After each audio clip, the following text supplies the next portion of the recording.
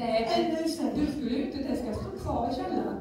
Stå kvar. Jaha. Det är ju med mina vänner. De jag ska tala om för dig att de tycker om ost och de tycker om Trix och de tycker om jordnötter och allting. Och de tycker om kläder och de tycker om mina skor.